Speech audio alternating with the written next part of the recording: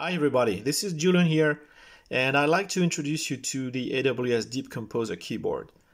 So here it is. Uh, it plugs into your uh, computer using USB so you don't need batteries or external power. It's a MIDI keyboard so that means you can certainly use it with your favorite MIDI app. So I'm using uh, GarageBand here on Mac but again uh, anything else should probably work and um, and it's a typical MIDI keyboard. So if you if you know about those things, um, you know what to expect. If not, well, you have a number of settings here.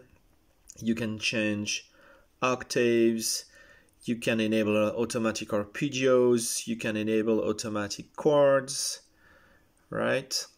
Uh, you have um, keys here to uh, record and, and stop recording and there's a whole bunch of additional settings here for uh, arpeggio mode and uh, and scales right? Let me show you scales.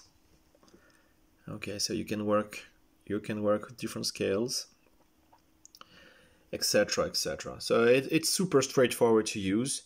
And uh, again I'm using GarageBand here, so uh, I've uh, selected this uh, fancy 70s uh, keyboard sound. Right, uh, and as, I, as I told you, you can enable chords automatically or arpeggios if you want. Alright, that's probably too fast, sounds silly. and yeah, you have um, a pitch setting here so that you can introduce um, uh, vibrato effects, etc., etc. So uh, it's pretty cool. So let's see if we can play something here. Uh, so here goes.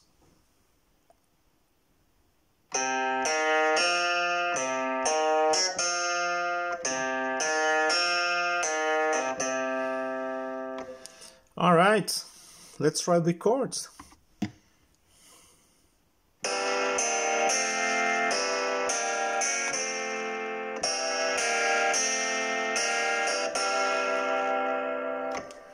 Okay, well, it's a MIDI keyboard, and again, if you use uh, if you use your favorite MIDI app, you can record tunes and change uh, instruments and do all kinds of things.